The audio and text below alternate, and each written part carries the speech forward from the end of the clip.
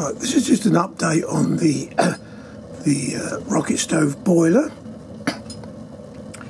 Um, as you can see, the flame is absolutely beautiful in there. Nice and blue. Hopefully it'll come up on the camera. And uh, this is just to say that it's been running a month now and there's been no problems with it whatsoever. And uh, see, she's still up there. This is the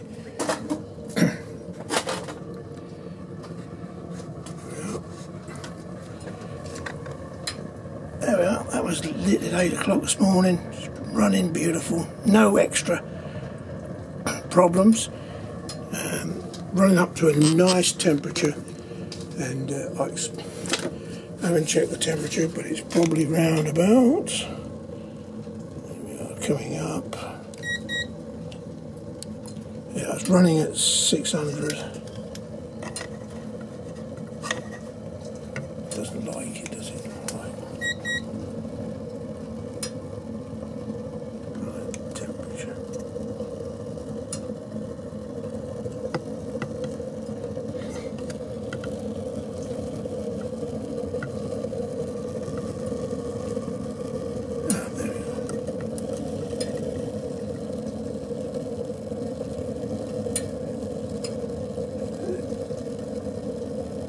690, it's about 690. Suppose you're running it. You can see that it fluctuates. That's not bad. You wouldn't want it a lot hotter than that. that heats the water up just nice. And the rads are really hot. So there we are, that's just the update. Uh, um, but the reason I haven't lagged the boiler is because I'm using it as a double thing. I'm using it as a, still as a space heater and a boiler. So I'm just using the extra bit off the back, which is the heat exchanger, so that I can get basically I'm getting free heat. So I'm doubling the output of what the stove actually does.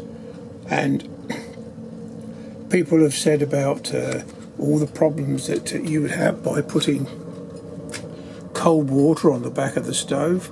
Absolute rubbish. Um, it doesn't have any problems. It runs really sweet as a nut. As you can see, the, the flame is superb in there. If you can get a flame coming like that with all that blue in there, you've got it cracked. And this this is really nice. So this is the boiler and uh, there's no problems with creosote inside. It is absolutely spot on. This is the four weeks of because I've been running quite a long time. That's the four weeks in that bucket there of burnt what's what's left out of the fire. So there we are. Look, squash down your rubbish. But there we are. All that's come out in four weeks. I reckon that's pretty good. Quarter of a bucket of waste from the from the boiler. So that tells you that uh, it's burning so efficiently. And it is nice. That's with the door wide open. Obviously, if the door's wide open, you burn more fuel. But at the end of the day, it is warming up a six metre square, and uh, the workshop has only got a tin roof. So I will flash round. Look, you can see there's the roof. Only a tin roof. That's all it is and it keeps it a comfortable 60 degrees in here. That is all I need. so I'm quite happy with that. Um, so it's working really nice. This is the, let's see what the room temperature is. Right. Coming up. Oh, 16, there we are. 16, 15, there. See if I can focus it. That's the room temperature at the moment. So you can see for yourself, 16 degrees. That's comfortable uh, for working in. you wouldn't want it any hotter than that. So that's pretty good. I'm pleased with that. That works. It works for me anyway, and I, I hope if you build one, that it'll help work for you. At the end of the day, that is what I've done, and uh, it's not that difficult to make. I've given you dimensions and other things. The the centres of the pipes, 50.8, so you can use uh, use a, an elbow, and then you use an M and F elbow. That's the centres you need to drill. Um, but there's, there's 12 tubes through there, quite simple. but the reason it's not lagged is because I'm still using it as partly as a space heater in the workshop and uh, it, I haven't got enough radiators. I haven't managed to scrounge. I'm tight. I'll have to scrounge old radiators for the workshop.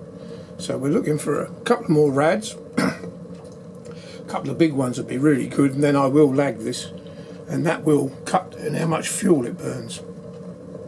So that would probably cut the amount of fuel that I'm using now by half because it would be lagged. That's how much difference it would probably make. But um, I'm happy it runs really nice. I hope this helps you in the future if anybody wants to build one. Uh, it's quite simple and the pipes are kept up from the bottom so that you can have nice clean easy at the bottom of the boiler so the idea is that you can put the cleaner in which is this is my scraper. See that scraper? That goes all the way to the back. That's it really and, and it is easy to clean out.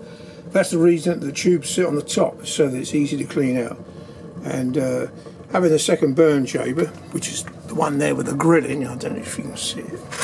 Um, that second burn chamber which makes all the difference. Should be able to see. There we are. There's the second burn chamber. Then it drops into the ash pan. But the amount of ash I got in a month is nothing. So that's just to prove the efficiency of the boiler. This is Dave signing off. Don't forget the bits at the bottom. Uh, thumbs up or thumbs down. Want to leave me a message or a comment underneath, you can. Um, and don't forget to uh, subscribe, uh, as if you want to. Also, uh, I do not make any money out of my my uh, YouTube account. Uh, I do nothing, it's only there to help people build their own fires and to make it efficient because I've done all the development work so you can do it for yourself. This is Dave sign off. Bye. Thank you for watching.